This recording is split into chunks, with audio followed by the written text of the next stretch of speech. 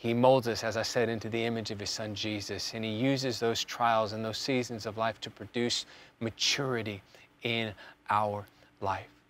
And then there's one final element in this story I want you to see, and that's the potter. It's a picture of God. And I want you to notice that we are in His hands, He is not in our hands. There is a God, and it's not you.